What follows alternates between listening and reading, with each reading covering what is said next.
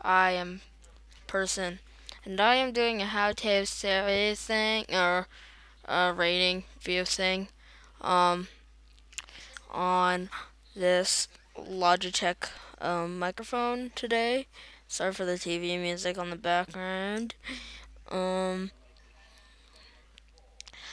this is a really good mic, one of the best that you can get for cheap prices.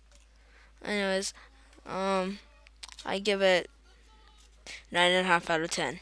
There's there's some things I don't like how because it's not wireless. That's the that's what I don't like.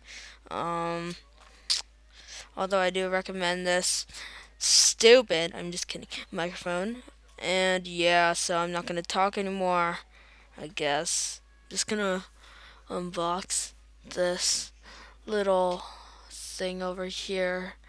You know. So bye.